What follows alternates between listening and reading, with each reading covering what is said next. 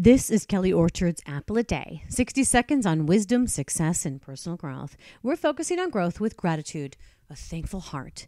Be grateful for detours on your daily adventure. You never know what kind of blessing is just around the corner. Not too long ago, I was headed to a meeting in Los Angeles. What can we learn from this? asked the young Starbucks barista. As I ordered a cup of coffee, my frustration must have been written all over my body language. I shared my tale of a dead cell phone, that my car charger had failed, and I had no clue of where my destination was. I was relying completely on the kindness of strangers for help.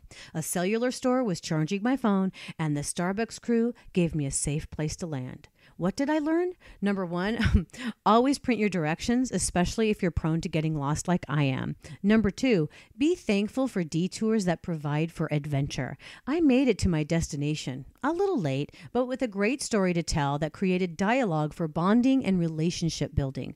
This has been Kelly Orchard's Apple a Day. Now, go out and be fruitful.